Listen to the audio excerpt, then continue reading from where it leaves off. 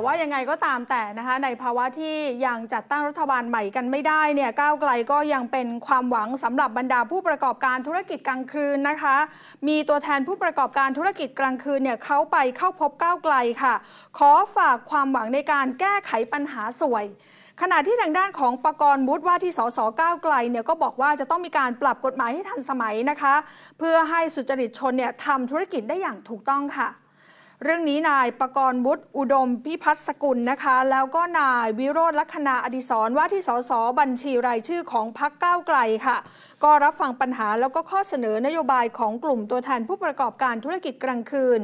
ที่เดินทางมาเข้าพบนะคะโดยผู้ประกอบการเนี่ยสะท้อนถึงปัญหาสวยในธุรกิจกลางคืน คุณประกรณ์บุตรเนี่ยบอกว่า การพูดคุยวันนี้ทำให้มีการตกผลึกร่วมกัน ระหว่างผู้ประกอบการแล้วก็พักก้าวไกล เพื่อจะผลักดันการแก้ไขปัญหาในด้านกฎหมายร่วมกันต่อไป แล้วก็จากการพูดคุยกับผู้ประกอบการเนี่ยนะคะ ก็ได้รับการสะท้อนปัญหา เรื่องการเรียกรับสวยกับสถานประกอบการทำให้กลุ่มผู้ประกอบการแล้วก็พักก้าวไกลเนี่ยเขามีความเห็นร่วมกันว่าจำเป็นจะต้องแก้ไขในหลายส่วนด้วยกันนะคะ ประการแรกค่ะ เป็นเรื่องของใบอนุญาตแล้วก็ยกตัวอย่างนะคะว่าเป็นอย่างเช่นพวกสถานบริการในกรุงเทพเนี่ยพบว่าสถานบริการอยู่ในโซนนิ่ง แล้วก็มีการขออนุญาต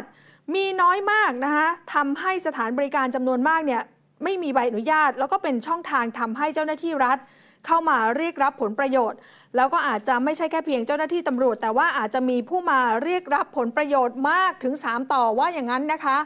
ประการต่อมาก็คือความไม่ชัดเจนทางกฎหมาย เรื่องเวลาเปิดปิดนี่แหละที่มันยังไม่ชัดของสถานประกอบการในแต่ละแห่ง ซึ่งช่องว่างทั้งหมดทั้งมวลที่ว่ามาเนี่ยนะคะทำให้เกิดช่องว่างที่เจ้าหน้าที่เนี่ยสามารถเข้ามาเรียกรับผลประโยชน์ แล้วก็ในหลาย ๆ ที่ก็ไม่สามารถที่จะคาดเดาได้นะคะว่า หากมีการปฏิเสธจ่ายเงินเนี่ยมันจะมีอะไรเกิดขึ้นบ้าง ในส่วนของการแก้ไขปัญหานี้คุณประกรณ์วุฒิบอกว่า ควรจะปรับปรุงพรบสถานบริการ ซึ่งมีขึ้นตั้งแต่ปี 2509 เนื้อหาในกฎหมายจึงไม่ทันต่อยุคสมัย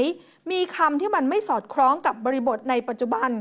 และควรศึกษาการแก้กฎกระทรวงมหาดไทย เพื่อแก้ไขเวลาเปิดปิดนะคะของสถานบริการให้มันมีความชัดเจน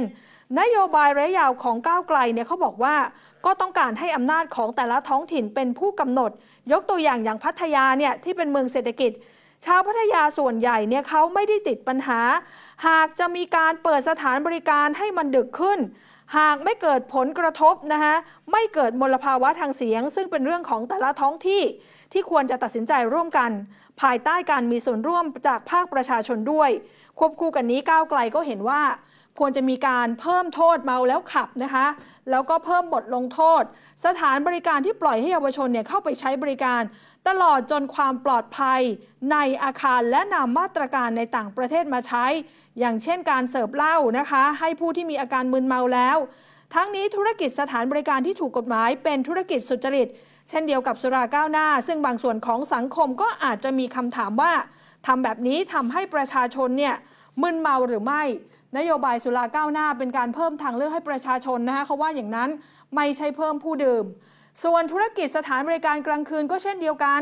การแก้ไขกฎหมายก็เพื่อให้ประชาชนคนตัวเล็กที่เป็นสุจริตชนนั้น สามารถทำธุรกิจได้อย่างปลอดภัยแล้วก็ถูกกฎหมาย